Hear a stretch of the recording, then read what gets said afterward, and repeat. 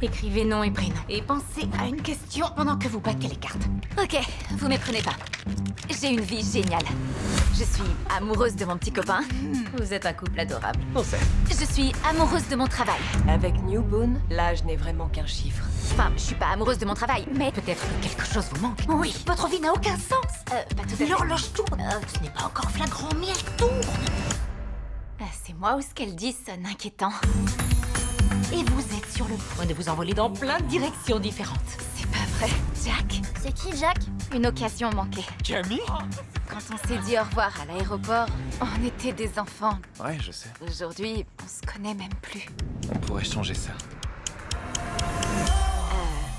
Oh, regarde l'heure qu'il est. Faut que je retourne à ma séance d'enregistrement. Oh, je travaille ici à 10h. C'est plus là, Studio B. Rex Gallier Genre vraiment le Rex Gallier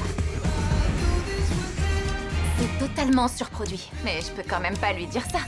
Gros sang Qu'est-ce que tu veux? Je suis fou d'amour. Et j'ai toute une section de cuivre pour le prouver. T'es en train de te moquer de moi? Histoire de s'amuser, écoutons les cuivres solo. Ouais, cool. Qu'on soit bien clair, toi, tu aimes ça? Non. La réponse est correcte. Eh, ça te dirait d'aller au comptoir demain soir? T'arriveras jamais à avoir une table. Je fais quoi avec celle que j'ai déjà réservée? Paul m'invite au comptoir ce soir. J'ai été complètement obsédée par Jack toute la journée. Je suis attirée par Rex, les signaux d'alarme clignotent vraiment. Faut juste que tu dises à Paul ce qui se passe. Vas-y, va te... Euh, Florian Il va me quoi? Paul t'a acheté une bague. Oh mon dieu.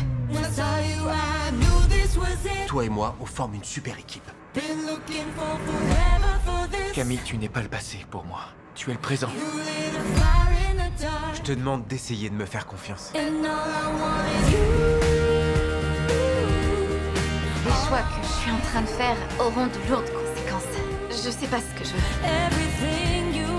J'ai besoin de comprendre ce qui se passe pour moi d'abord.